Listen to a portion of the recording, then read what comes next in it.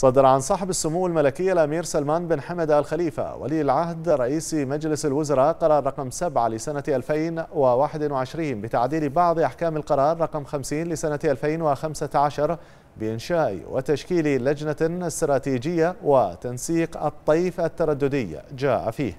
المادة الأولى. يستبدل بنصي المادتين الأولى والثالثة من القرار رقم 50 لسنة 2015 بإنشاء وتشكيل لجنة استراتيجية وتنسيق الطيف الترددي النصان الآتيان المادة الأولى. تنشأ لجنة تسمى لجنة استراتيجية وتنسيق الطيف الترددي يشار إليها في هذا القرار بكلمة اللجنة. تشكل اللجنة برئاسة رئيس مجلس إدارة هيئة تنظيم الاتصالات وعضوية ممثلين عن الجهات الآتية. قوة دفاع البحرين وزارة الداخلية الحرس الوطني جهاز المخابرات الوطني إدارة التراخيص اللاسلكية والترددات والرقابة بهيئة تنظيم الاتصالات إدارة الشؤون التقنية والعمليات بهيئة تنظيم الاتصالات إدارة الاتصالات بوزارة المواصلات والاتصالات شؤون الموانئ والملاحة البحرية بوزارة المواصلات والاتصالات شؤون الطيران المدني بوزارة المواصلات والاتصالات وزارة شؤون الإعلام الهيئة الوطنية لعلوم الفضاء. وعلى كل جهة من الجهات المشار إليها تحديد من يمثلها في عضوية اللجنة على أن لا يقل مستوى التمثيل لعضوية اللجنة عن درجة مدير إدارة.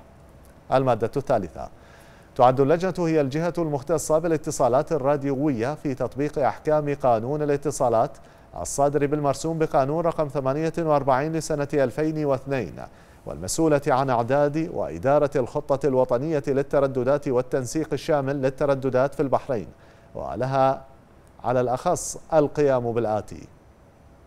أولا تنسيق متطلبات الطيف الترددي في إعداد الخطة الوطنية للترددات المعنية بوضع السياسات الفنية المتعلقة بتخطيط وتوزيع الطيف الترددي لجميع موارد الطيف الترددي بالمملكة. ثانيا تلبية احتياجات مختلف القطاعات من الطيف الترددي ويشمل ذلك الجهات المسؤولة عن الدفاع والأمن الوطني. ثالثا دعم استخدام التقنيات التي تعتمد أكثر على كفاءة الطيف الترددي. رابعا الوفاء بمتطلبات الالتزامات والاتفاقيات الدولية. خامسا تلبية احتياجات الخدمات الراديوية الدولية من الطيف الترددي مثل جاليليو وجي بي إس. سادسا تسهيل نظام ترددات الوقاية من الكوارث إقليميا وعالميا لمساعدة فرق الطوارئ والإنقاذ على الاتصال فيما بينها. سابعا دراسة ما يحال إليها من موضوعات تتعلق بالطيف الترددي. ثامنا المشاركة في الاجتماعات والمؤتمرات الدولية والعالمية المعنية بالطيف الترددي وذلك بعد التنسيق والمتابعة مع الجهات المعنية في ذلك.